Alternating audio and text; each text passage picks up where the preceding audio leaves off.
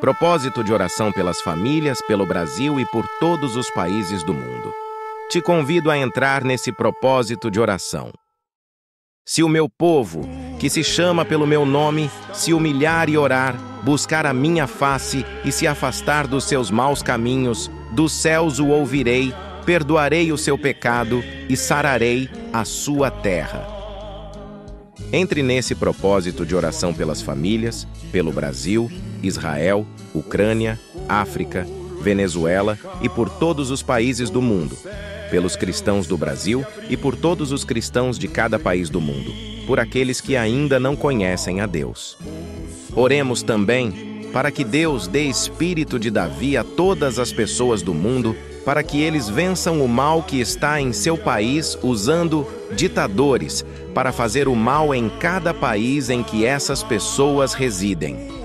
Que Deus coloque por terra as potestades malignas que usam esses ditadores para fazerem o que é mal ao povo de bem: a fome, a peste e a miséria, a pobreza.